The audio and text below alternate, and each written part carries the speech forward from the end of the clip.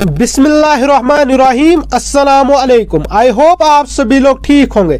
आज हम बात करेंगे मार्केट अपडेट के बारे में। तो उससे पहले आप लोगों से गुजारिश है कि मेहरबानी करके मेरी चैनल को सब्सक्राइब कीजिए। अगर फेसबुक से देख रहे हैं तो पेज को फॉलो कीजिए। तो करते हैं हम शुरुआत। देखते हैं पहले ये वीडियो। और अब ये सारा का सारा सेब जो हिमाचल वाला सेब है किन्नौर वाला हिमाचल वाला सारे का सारा आपको तेरह नंबर साइड में देखने को मिलेगा। चलिए जान लेंगे आज की क्या कुछ पोजीशन है। जैसे भाई साहब के पास ये टॉप क्लास के सेब आए किन्नौर वाले सेब है जिसमें गोल्डन भी मिलेंगे आपको और कई वैरायटी मिलेगी यहाँ पर। देखने को मिलेगा रिचर्ड भी मिलेगा और भी जानते हैं आज के क्या क्या बाज़ार हैं। नमस्कार भाई साहब जी। भाई साहब जी दिल्ली जादपुर मंडी में आ लिए जी दोबारा लौट कर। ये तो परमानेंट एरिया है यहाँ तो अच्छा जी अच्छा। महीने ही बिकना है आपको। अच्छा जी। ये बताओ कि अभी हिमाचल की कितनी गाड़ियाँ आ रही है? ऐसी जो हिमाचल की टोटल आ रही है किन्नौर शिमला टोटल मिलाकर जी।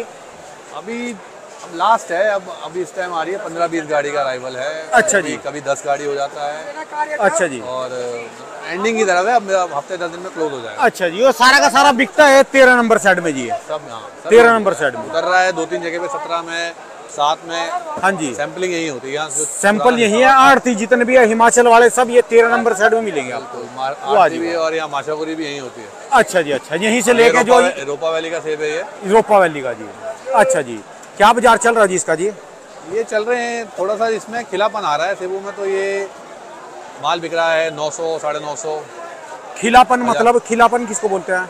खिलापन मतलब थोड़ा सा पक गया इस बार नेचुरल फिनोमिना से हाँ अपर वैली के जो सेब हैं हाँ जी। उनमें क्या हुआ है ड्रॉट पड़ गया था शुरू में स्टार्टिंग में तो उस चक्कर में सेबों में पेड़ों को ढंग से जो है हार्वेस्टिंग पानी नहीं मिल पाया। अच्छा जी। तो उससे जो है नेचुरल फिनोमिना है देखो ये किसी की समझ से परे क्या हुआ तो सेब के अंदर जो है जो है थोड़ा सा खिलापन हो जाता है मतलब थोड़ा सा राइट हो गया है वो अच्छा जी अच्छा जी। वो कुछ जगह पे प्रॉब्लम आई है कुछ कुछ एरियाज़ में। हाँ जी। वो यही चीज़ से है नहीं तो माल अच्छे हैं। अच्छा जी। जो बात करें जी जैसे आपने कहा कि खिले माल है रोपा वैली के जी तो इनकी क्या पोजीशन है जी? इन्हीं की पोजीशन बता रहा हूँ ये नौ सौ साढ़े नौ सौ रुपये डब्बा चल रहा है। और वज़न कितना है जी इसमें?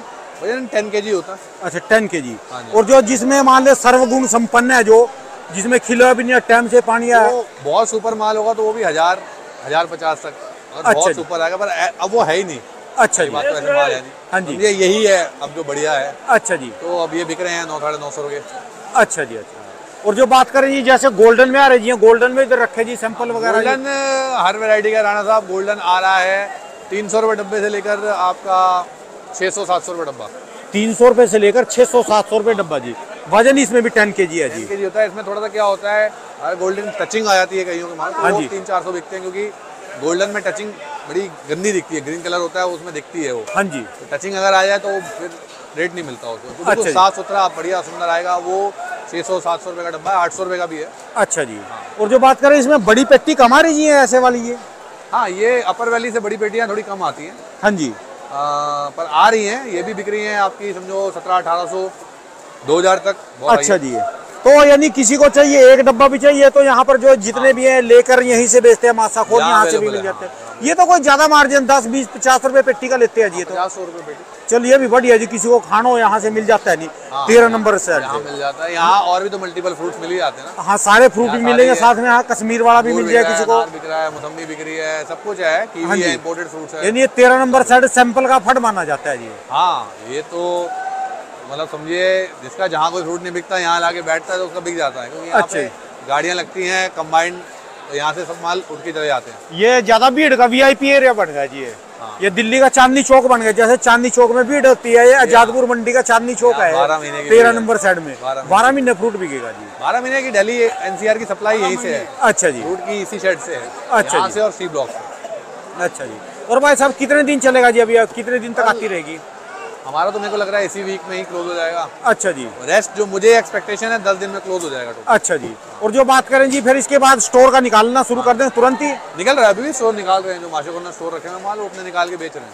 अच्छा जी अच्छा। जैसे इन्होंने रखा था और अब निकाल रहे कुछ बढ़ रहा है इनका रेट रूट मिल रहा है ऐसे ही काट के बेच रहे देखो हमने तो अपना निकाला नहीं पर सुनने में आया कि कुछ मिल रहा है मार्जिन अच्छा जी।